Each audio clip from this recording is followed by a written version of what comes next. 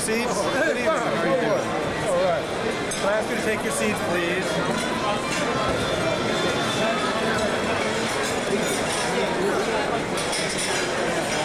Okay. Kevin, I'm not no student.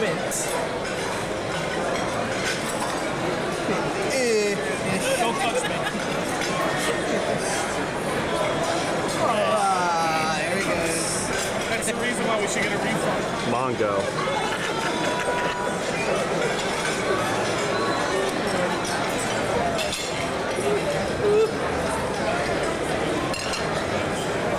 Fishnet stockings. Ladies and gentlemen, at this time, I would ask that you please take your seats. While dessert is being... He is Mr. Vince McMahon.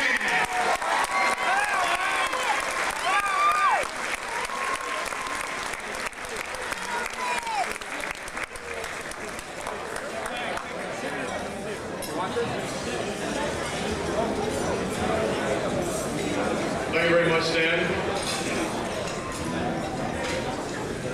Tonight, for a moment,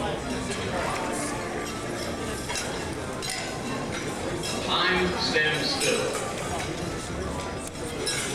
All too often in our hectic world, this fast-paced world we all live in, we do not take the opportunity as we should to stop. Tonight, for a moment, the clock stops. In fact, we might be able to turn it back just a little bit in time. This is an opportunity for us to say thank you. Thank you to so many of our WWF fans and friends all over the world.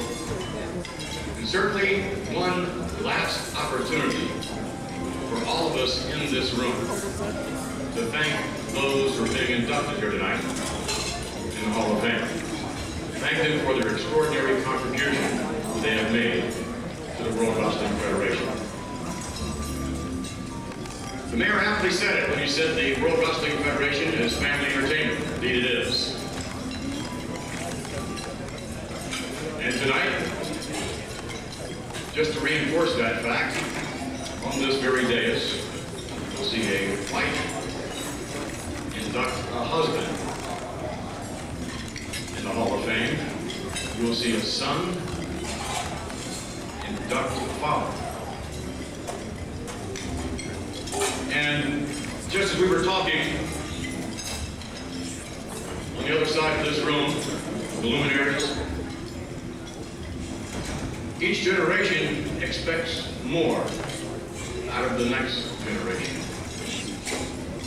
We were talking as to what will happen to the new WWF generation. What can we expect out of them?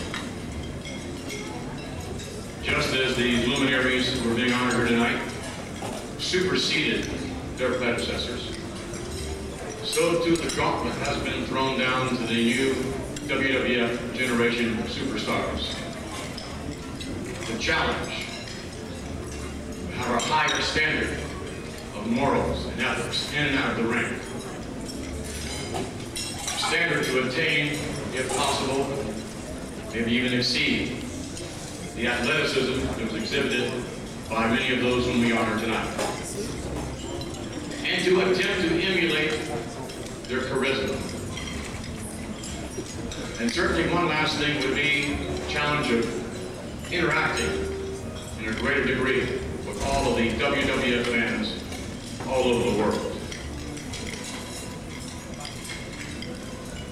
I'd like to take this opportunity before we introduce first inductee to recognize those individuals who are here among us tonight, who were privileged enough to be inducted into last year's WWF Hall of Fame. I would like for you to stand and remain standing, please.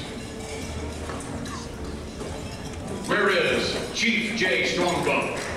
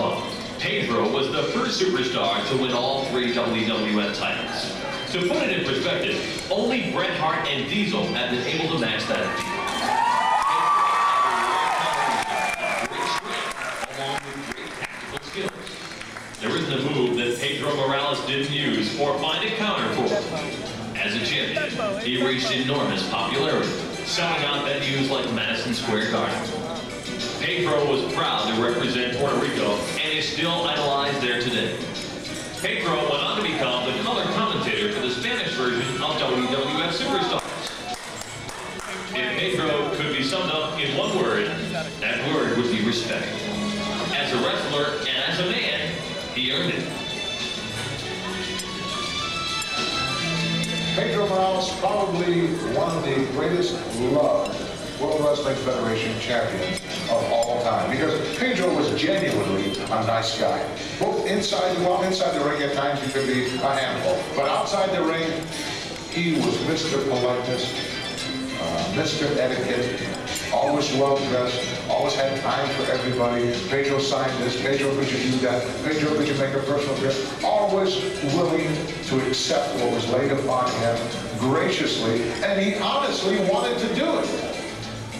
Pedro Morales is a superstar in every sense of the word, and he is more than welcome into the hallowed halls of the World Wrestling Federation Hall of Fame.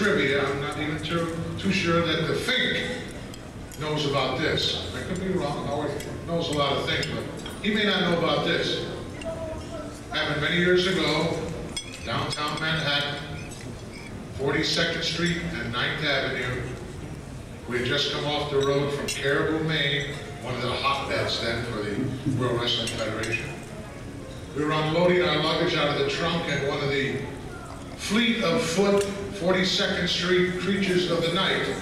Yes. Before you could say pina colada, had Pedro's bag with the belt in it and disappeared into Hell's Kitchen. That is a true story, my friends. Pedro Morales, probably the only time in my life that I ever saw Pedro embarrassed. But he will go down in the annals of the World Wrestling Federation as one of the greatest champions of all time. I can tell you some great stories about a lot of guys sitting here tonight, but they tell me we only have the room till midnight. So I'm going to let you slide a little bit. But accepting this honor for Pedro Morales, another great Latin star, a luminary on the horizon, one of the new generation, my friend, Savio Vega.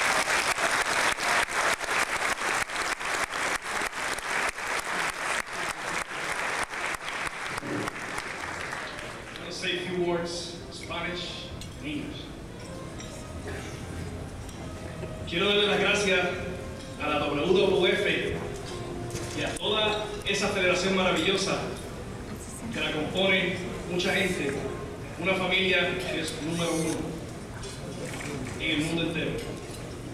Pedro Morales, como Diego Gorila Monzón, gran campeón, ¿Qué yo puedo decir? Ellos lo han dicho todo. Es un placer para mí recibir esta, esta placa a nombre de un puertorriqueño, que lo fue Pedro Morales, que lo recibe otro puertorriqueño, Savio Vega, su amigo. Now English. It's a pleasure for me to receive this award from one champ, was Maria Monsoon, for Pedro Morales. What I could say about Pedro, Vince, and Gorilla, they said everything. The video you see is another point right there. One Puerto Rican, Savio Vega, it's a pleasure for me to receive this award from Pedro Morales. Thank you, and God bless you.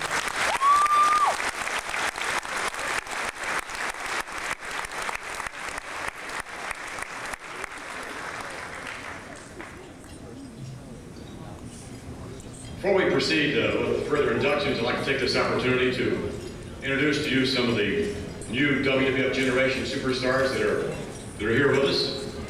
Um, from Men on a Mission, Mo. Mo, stand up. Mo.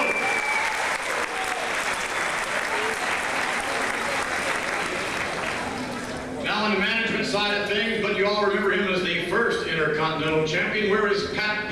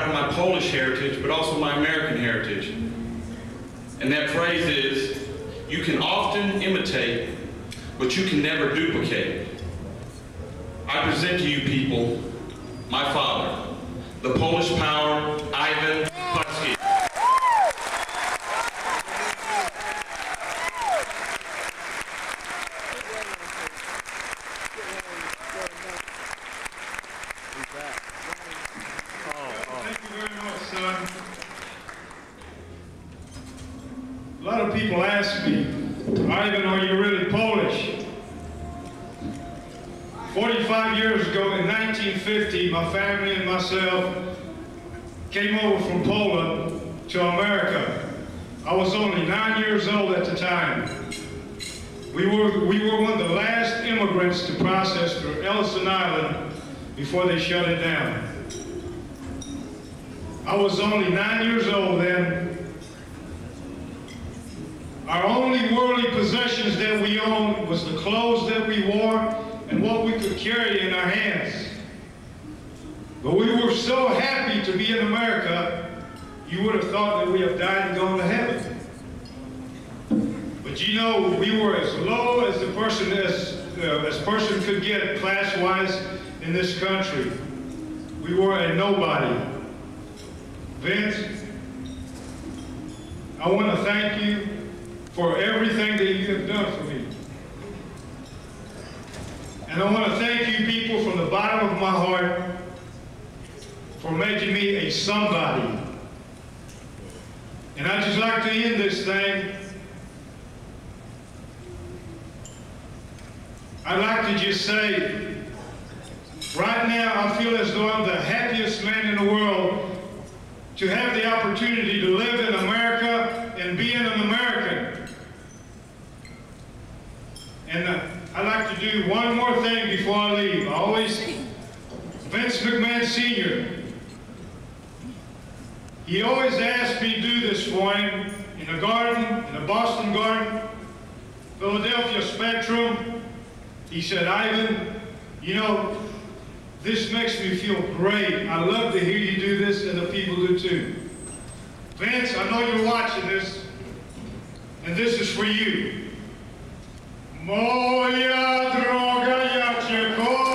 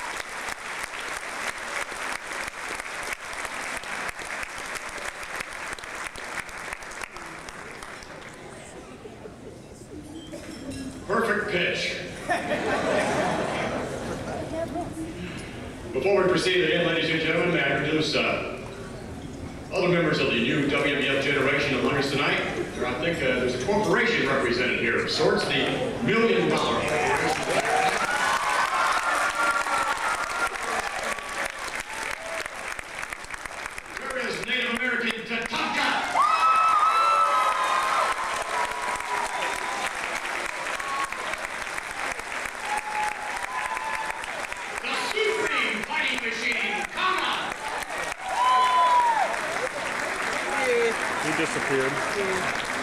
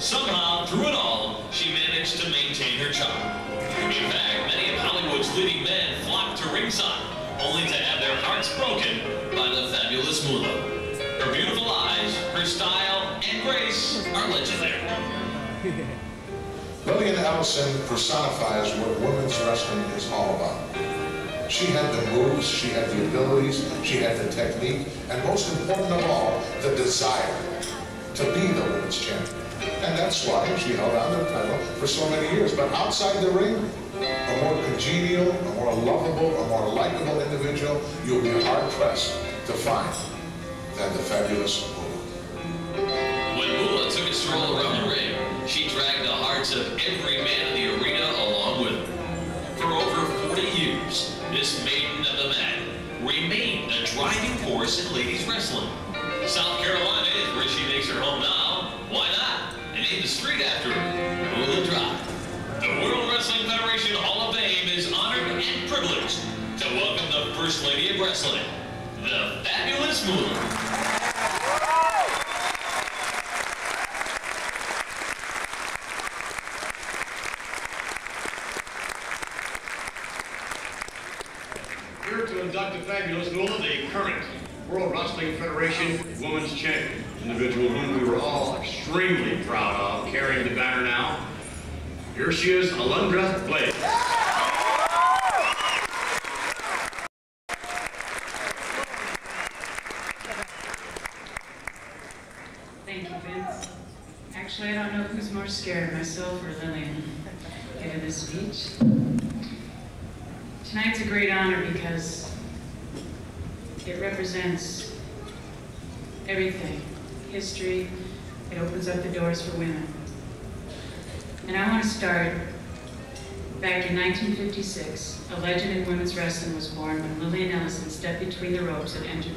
Circle. On that memorable evening, nobody could have ever imagined the impact that Lillian or the fabulous Moolah would have on the world of professional wrestling. After capturing the women's title by defeating June Byers on that fateful night, Moolah went on to defend her championship gold for nearly 29 years, a record that this great sport will never see broken. Well, maybe anyway. Love you, Moolah. As the current World Wrestling Federation Women's Champion and the leader of the feminine movement of the new generation, I realize that neither I nor the entire state of women's wrestling would be here today had it not been for Moolah and her courageous fight to survive in a prominently male-oriented business. Mula's, Moolah's accomplishments speak for themselves, but for me, there was one night in her spectacular career that will forever be etched not only in Federation history, but also in the hearts and souls of every young woman struggling, struggling desperately to make it in this man's world of professional wrestling. The night of which I am speaking took place in the year of 1972. Up until that point, Moolah had to defend her title all over the world from city to city and arena to arena. That is except for one. The house on 33rd and 7th, better known as Madison Square Garden. At the time, the powers that be at Madison Square would not allow women to compete in a world they saw fit only for men. Unfortunately for them, this did not sit well with Moolah. Fueled by a level, fueled by a level of pride, equaled by only those who we call legends, Moolah was woman, and the executives at the Garden would hear her roar.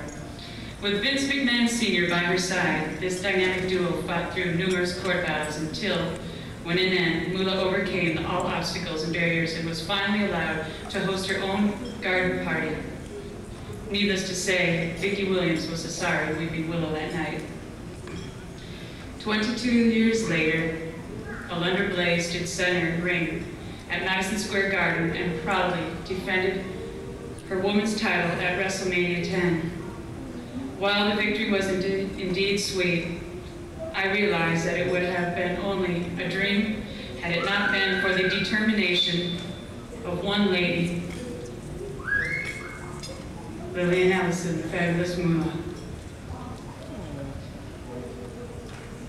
Moolah, as the women's representative of the World Wrestling Federation's new generation and the voice of every female wrestler sweating night after night, trying to make their mark in a business which many feel we have no business being in, I thank you.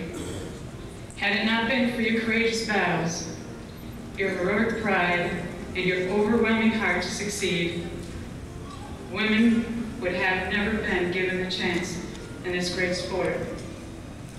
You are a woman, you are roared, and for that, we will never forget you.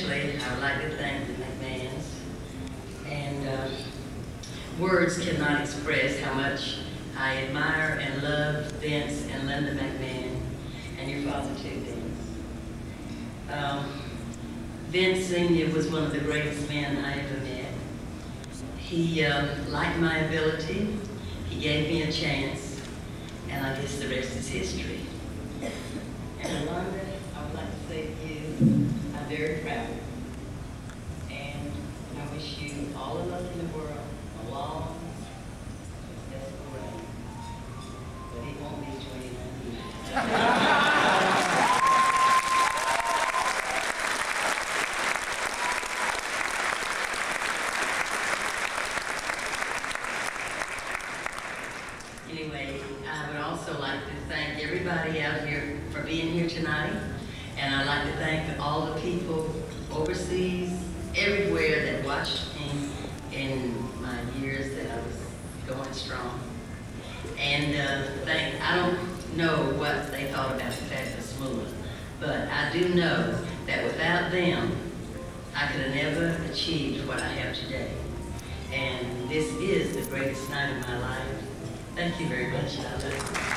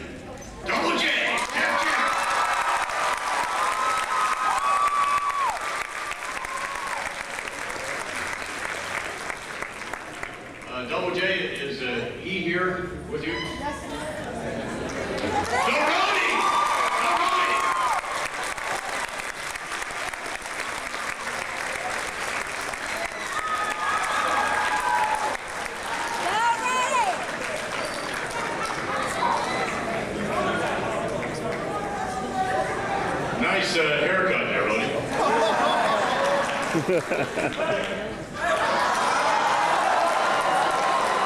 This is my Hall of Fame toupee.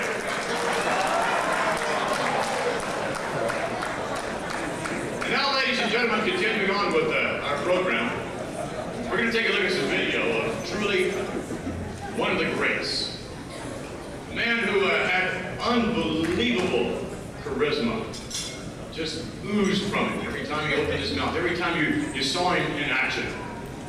Talk about individuals who would sell out Madison Square Garden and then Philadelphia Arena. As a matter of fact, he was uh, the promoter here in Philadelphia was a gentleman by the name of uh, Ray Fabiani. Although he was Ray Fabiani when wrestling was in town, and he also uh, was the promoter of the local lyric opera company. He wasn't known as Ray Fabiani when he went to the opera. He was Aurelio Fabiani. Nonetheless, Ray always insisted whenever the WWF was in town, he wanted Antonino Rocca on his card. With that in mind, here, ladies and gentlemen, Antonino Rocca.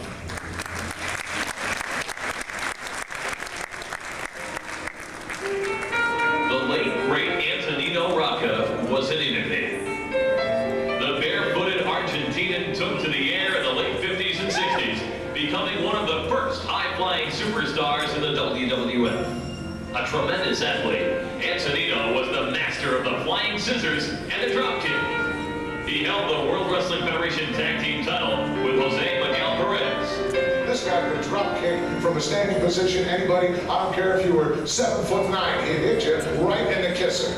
Antonino's fame reached unparalleled proportions. He was loved and admired throughout the wrestling world. When he passed away, it was front page news throughout the country. Antonino Rocca, innovator, commentator, and now a World Wrestling Federation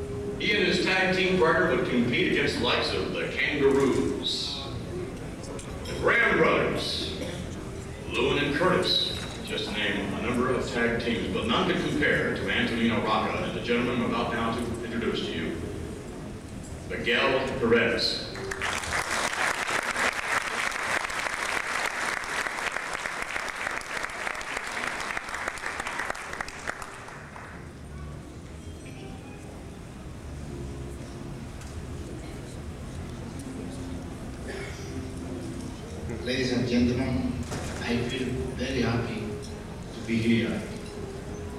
I thank you to Mr. Biggs Frankman, the Premier here. When I received the letter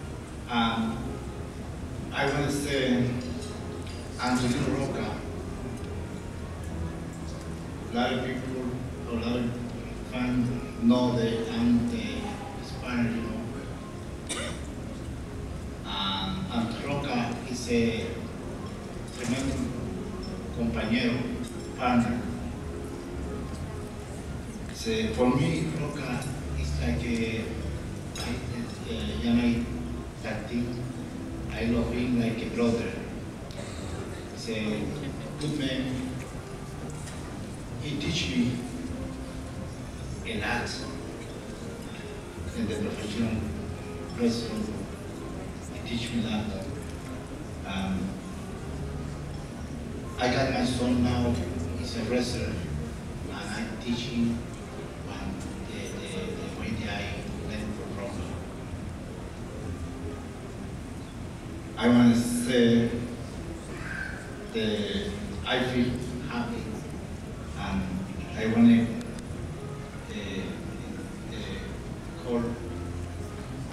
joys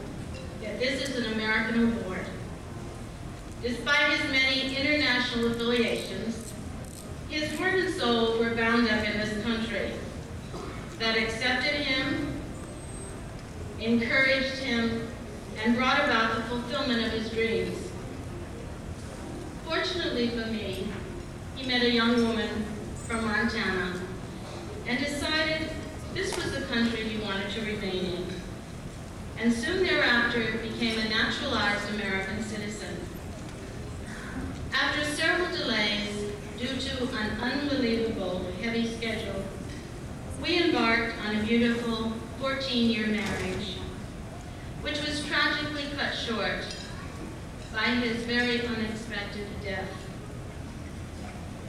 But out of this union came a beautiful daughter, Natella, who is here tonight with her husband, James Gordon, and our two wonderful sons, Mark and Eric. Will our family please stand?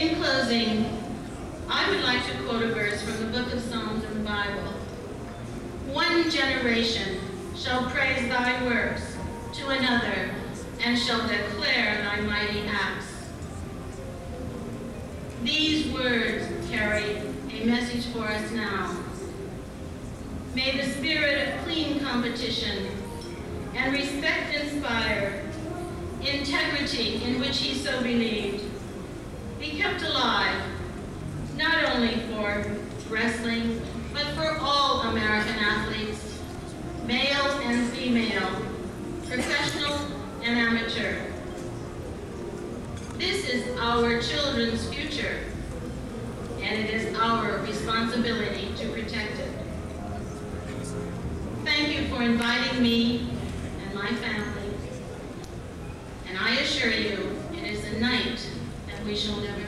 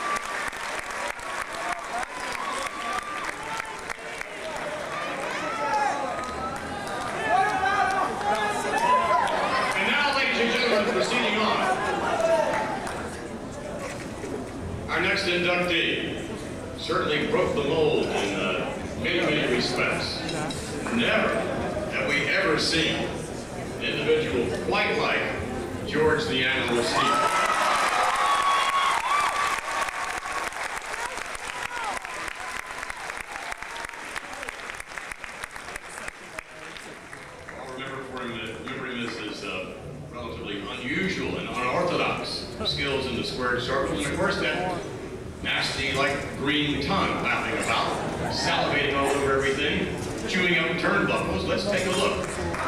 George the Animal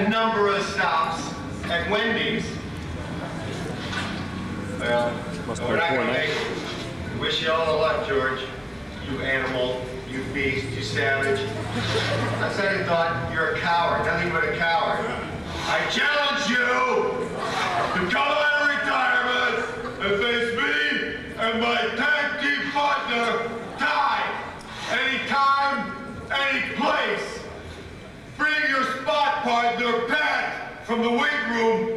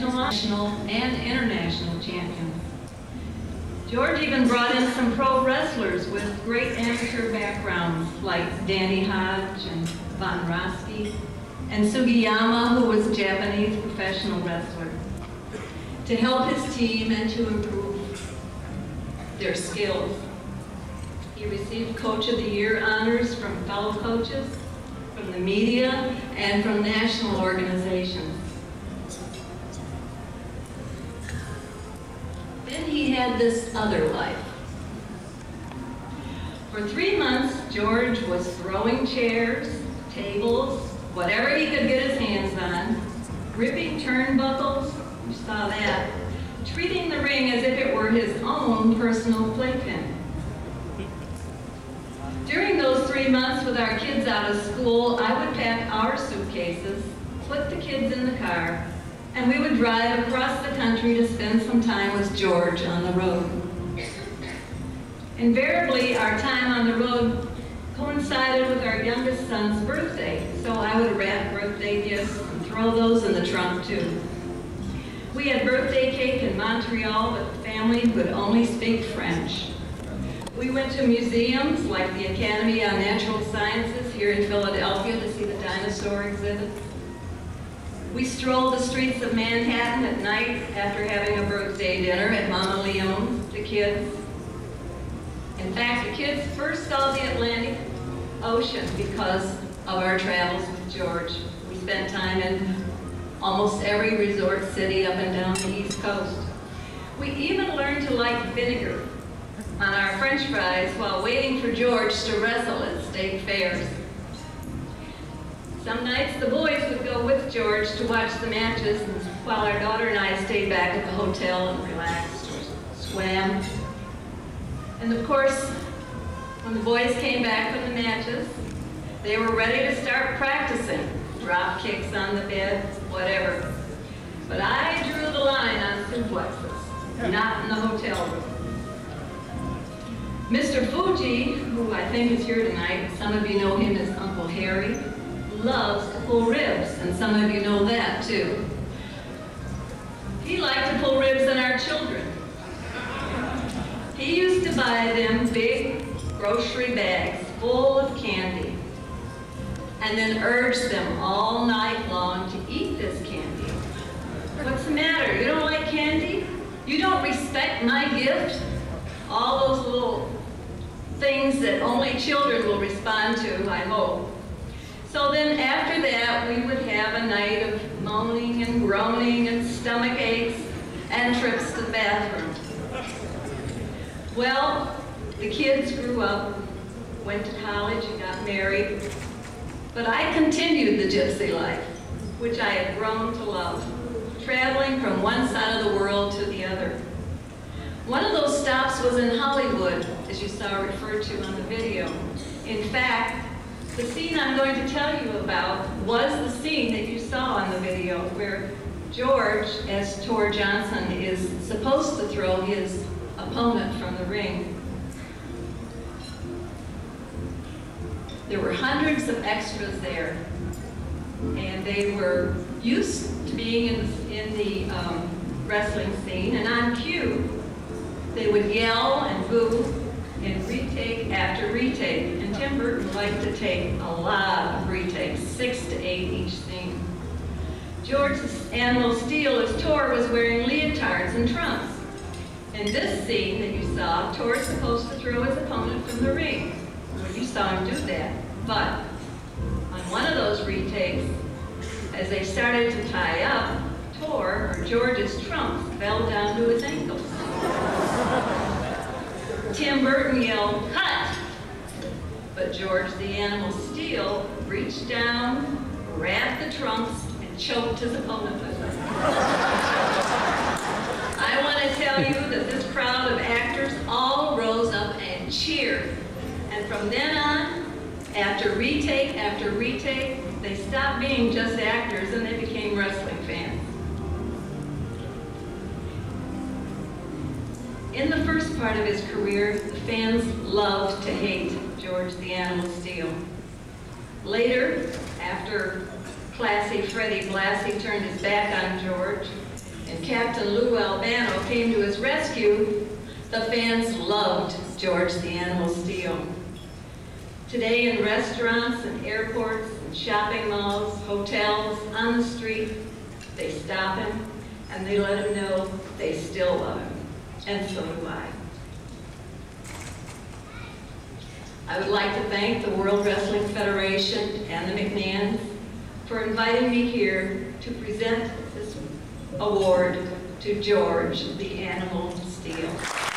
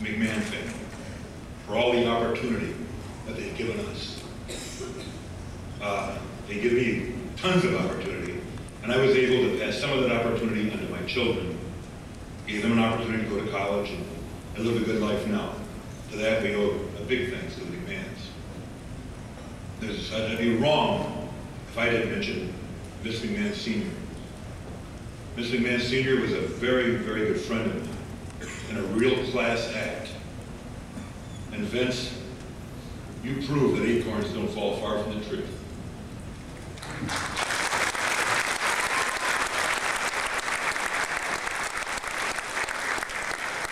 I want to thank the people from the Titan Towers and for the TV studio and the growth you've helped the WWF make. When I first came to New York, in the WWF, there was an office in That housed four people, and Arnold Skaaland kept a sleazy office over somewhere in New York on 42nd Street. and uh, first TV shoot that I went to, I think it was five wires. Now that doesn't mean much to you unless you've been backstage in the 90s. All I see is wires. They intimidate me. They scare me. There's wires over the place. But we have to have more wires because of the talent that we have today. They are outstanding.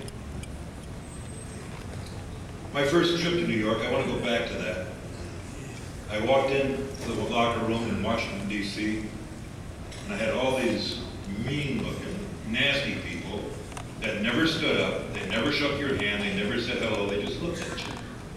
The only friendly person there was the athletic commission. He wanted some bucks.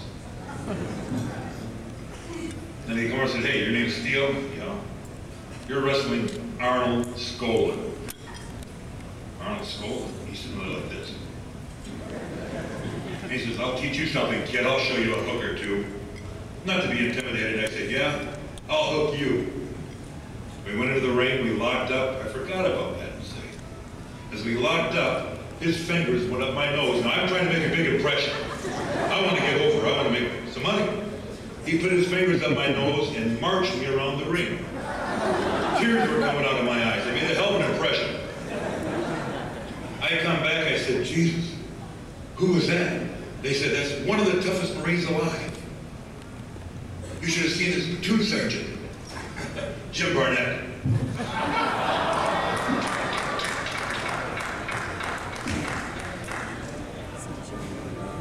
I think that our generation, the group that I grew up with, has passed the torch.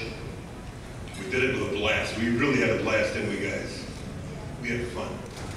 We passed it on to what I think the greatest athletes in the history of our great sport. They're unbelievable.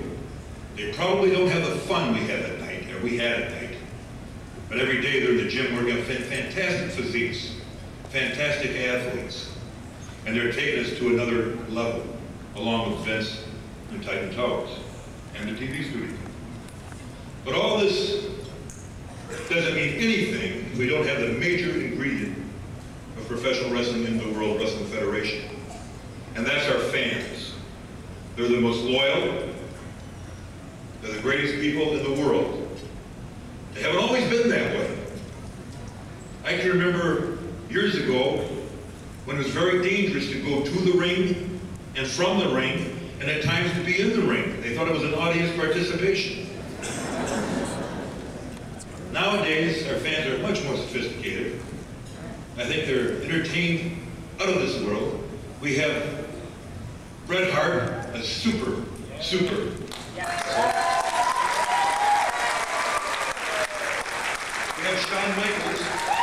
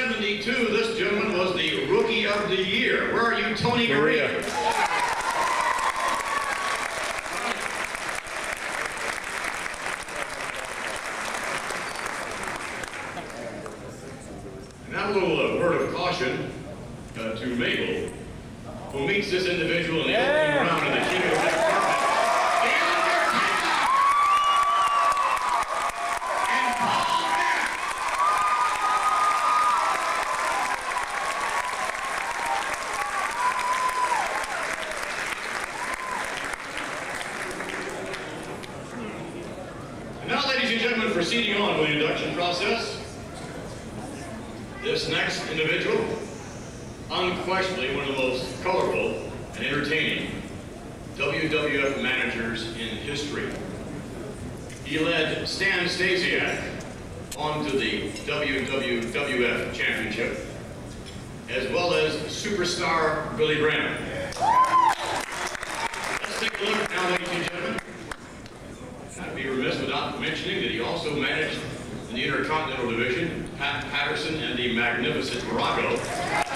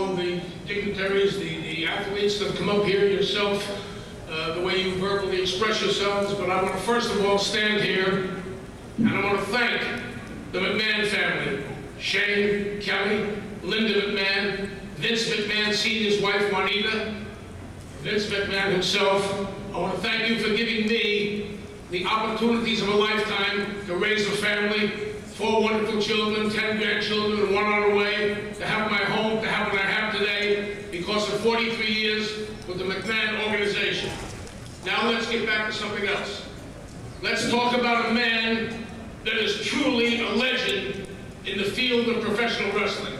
When you talk about Abdul Farouk, Ernie Roth, the Grand Wizard, he started off as the road manager for Johnnie Ray. You've heard of Johnnie Ray, the singer, cry, if your heart ain't feel it. Johnnie Ray, that's right, I can't do it. He started off as his road manager. He then went into work for Eddie Farhat, the Sheik in Detroit, as Abdul Farouk. Then Ernie came east to Vince McMahon Sr., without a doubt, one of the greatest men that ever lived. I know he's up there with the good Lord Jesus with God in heaven and Ernie Roth, and you're looking down at Vincent and if you are, you fired me 13 times. But by me begging, you always took me back. Thank you, Vincent. God bless you. I want to say what he was, he was, without a doubt, ladies and gentlemen, one of the greatest men of all time. If you knew Vince, he was a compassionate, understanding, loving individual. Now talk about. Roth came east, came over here, and he made his trademark. He came in, he was a, a verbal genius. He could express himself. He, he knew how to use words that I, I wouldn't know how to follow him. I couldn't be one-tenth the man that Ernie Roth was. I loved him as an individual, as a person, and I can tell you this. Anyone that Ernie Roth touched in his lifetime, he made an impression on because he was a wonderful, great, compassionate guy, and I can say I feel so good, so proud and elated to have come across the path of Ernie Roth, the Grand Wizard. God bless you, Ernie, and Vince McMahon, I know you're looking. Now, I'm not done yet. Now I want to bring out his good friend, his lifelong friend, and my friend, Bob Harmon, to accept this prestigious award. Thank you all. If you want to cheer now, go ahead.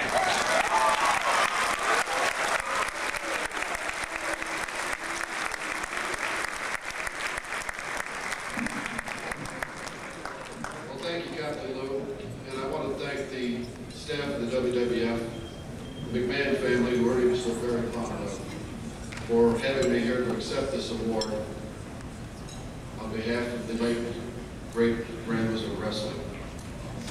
Ernie spent 25 years in pro wrestling after a distinguished career in radio broadcasting and road managing for some of the major recording stars of the 50s. As Lou mentioned, Johnnie Ray, also Don Cornell, the boy singing star of that era, Bobby Green. He was introduced to wrestling by late Buddy Rogers. First as a manager in the late 50s for Magnificent Reese and Handsome Johnny Barend. Later, he became a, commentator for the Hart family in Calgary, and then on to Worldwide Sports Promotions of Lansing, Michigan. His second managing job was that of Abdullah Farouk for the original Sheik. In the late, in late 1970, he became the Grand Wizard of Wrestling. Along with Captain Lou and Classy Freddie Blassie, they were the big three managers of the WWF at that time. Ernie was truly one of the founding fathers of the WWF as you know it today. He managed many of the greats, too many to mention here tonight. And he had an ongoing rapport with a new young broadcaster by the name of Vince McMahon Jr. Ernie passed away in 1983 after 13 years with the WWF. I just want to say once again, thank you very much on Ernie's behalf, and Erwin Jerome Roth, the Grand Wizard of Wrestling, you are not forgotten.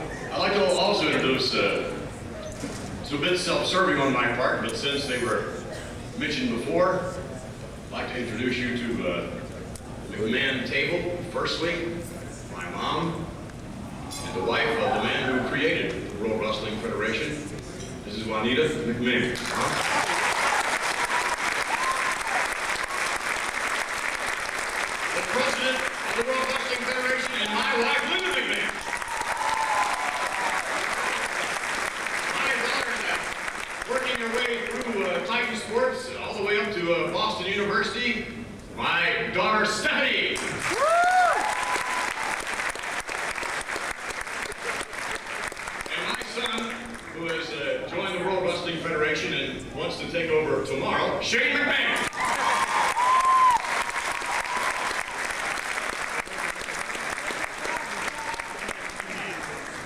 Thank you very much. Yes, brother.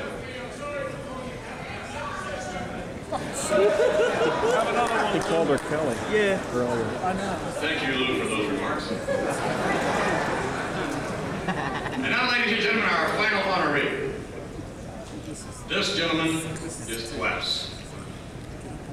He is respected by so many people from so many walks of life, notwithstanding his stellar wrestling career, is unbelievable career as a professional football player, all pro. Let's take a look the video of the big cat, Ernie.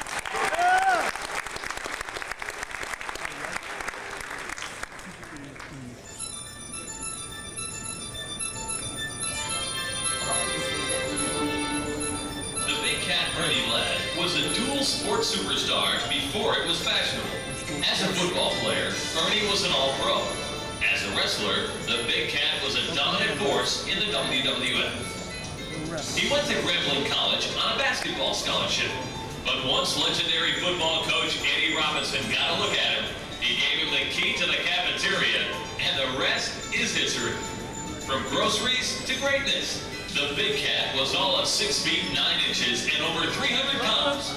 But as his nickname alludes, he was quite agile. Ernie the Cat Lads. I had the pleasure to wrestle him many times during my wrestling career, and he's probably one of the toughest opponents I ever had. He's a big man, he's probably one of the largest men I wrestled in wrestling business uh, beside Andre the Giant. Ernie Ladd, I'm very happy for you to be inducted at the uh, Hall of Fame. You deserve it, man. And I've got a few other stories to tell about you, but I don't think it's a place and time to tell about it. Former coach Hank Stram once called Ernie the most dominating athlete he's ever coached. He had classic battles with the legendary great Andre the Giant. The Big Cat has some pretty big fans, too. Among the biggest, former President George Bush. Ernie has always been renowned for his big heart and his work with charities. The Hall of Fame is proud to open its doors to the big man with the big heart. The Big Cat, Ernie Ladd.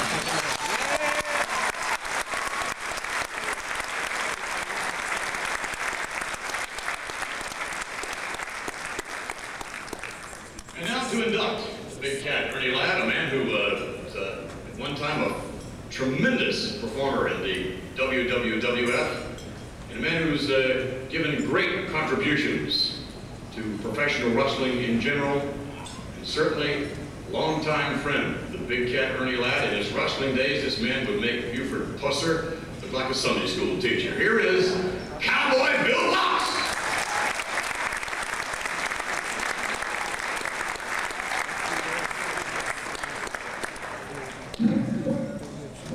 Well, I want to thank Vince McMahon and everybody here, especially all you fans, because I think wrestling has a special place in the closeness between its sport and its fans that is unique that no other sport has, and the loyalty and the tremendous following are so wonderful.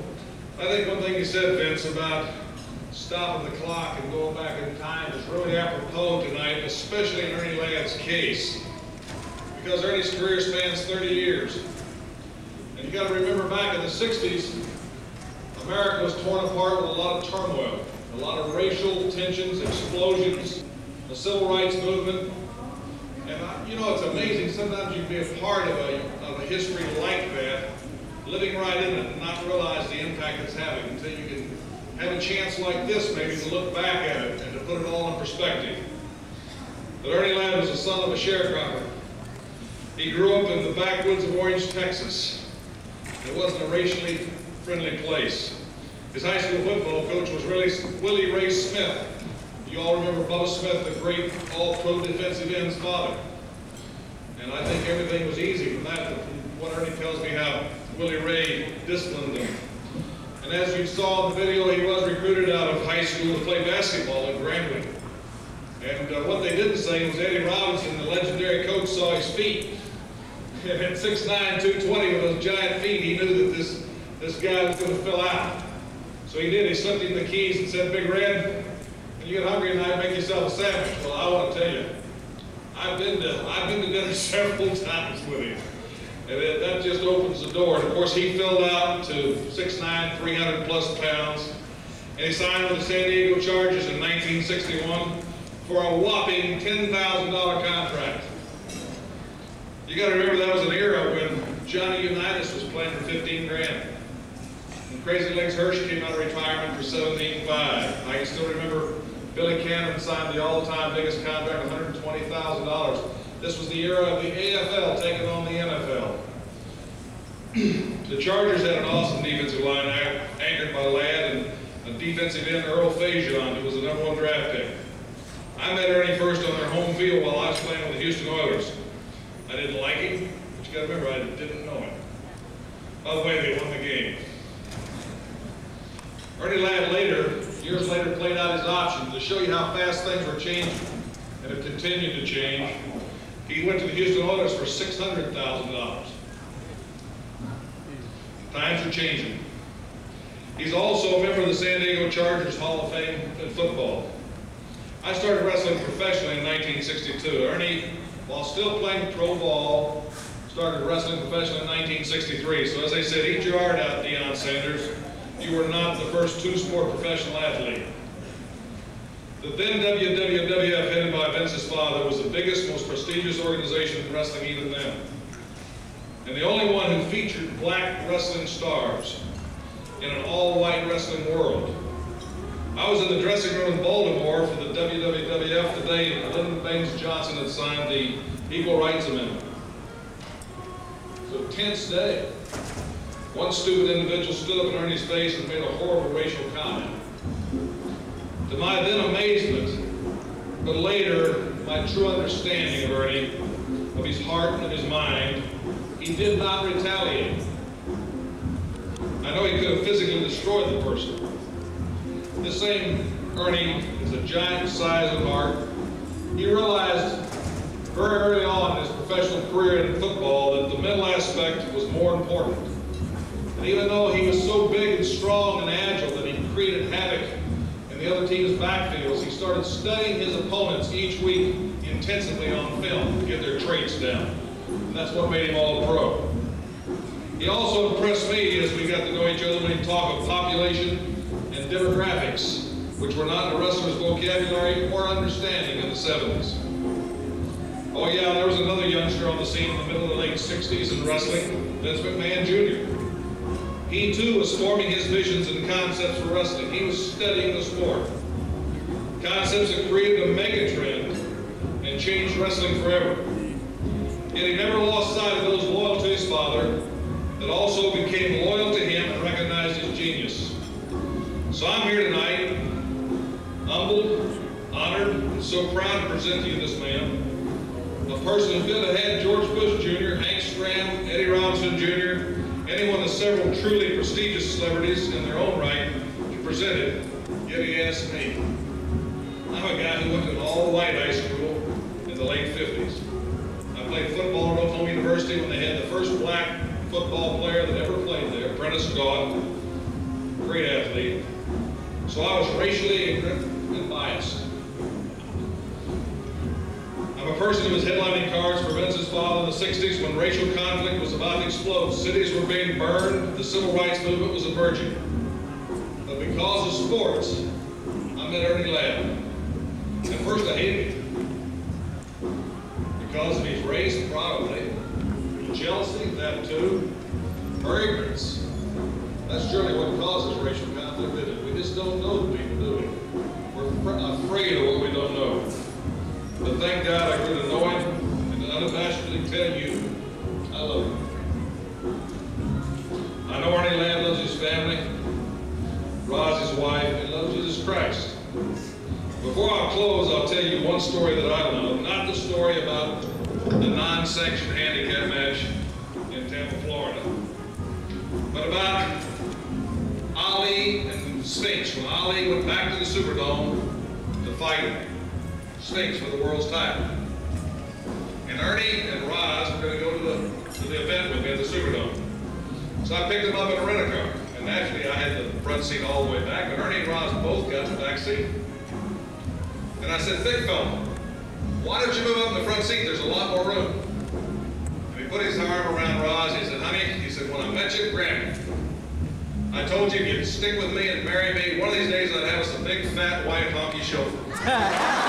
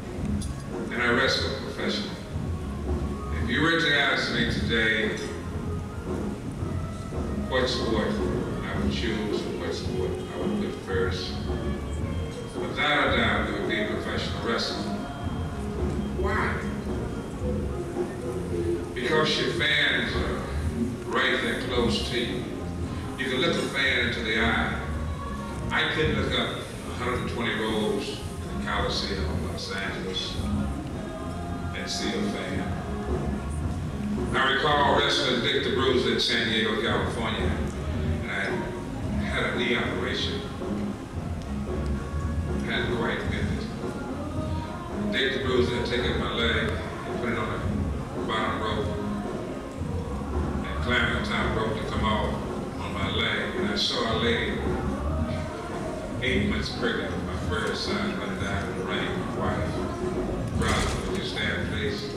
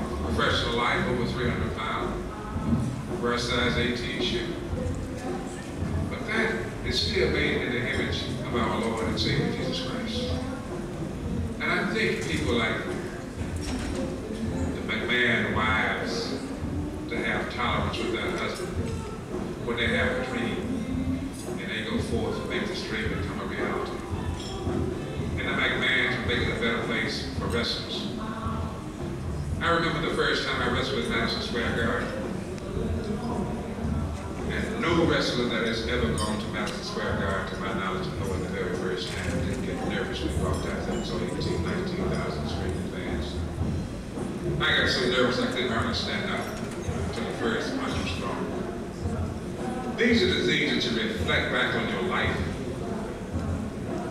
and say how great it was. And know that you would get a good payday in the mail. Fair. Wage. Then you would go and work for some promoters and you're crying, you're crying. He's being unfair. Matter of fact, I've gone to wrestle wanted my money before I wrestled. And the guy talking funny, and I got fully dressed. And this little black bike here headed right down the road and left the promotion standing there because the person was going to be unfair.